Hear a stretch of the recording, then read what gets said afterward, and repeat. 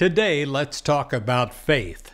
It says in 1 Corinthians 16, verse 13 Keep alert, stand firm in your faith, be courageous, and be strong. Keep alert to your own ideas, your own feelings.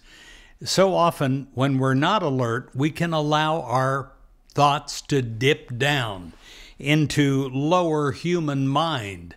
We can have fear, we can have anxiety, we can look too much at appearances. Have faith in God and in God's presence constantly in your life.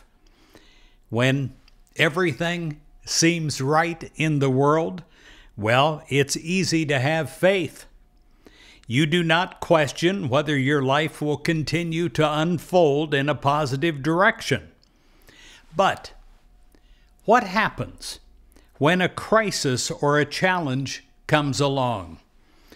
Do you begin to doubt God's presence in your life? You won't when you remember. When you remember that every challenge can be a new opportunity. That's keeping alert. And that growth can come. And even the smallest amount of faith on your part is enough to get you through. You stand firm in your faith. Jesus said, if you have faith the size of a mustard seed, you will say to this mountain, Move from here to there, and it will move.